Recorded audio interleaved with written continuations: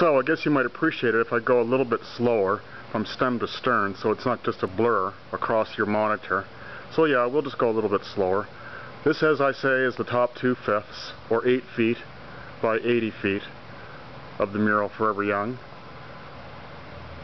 Going all the way over to the team of oxen. Now we're just going to slip over to, to the other side of the rink for the bottom 12 feet by 80 feet.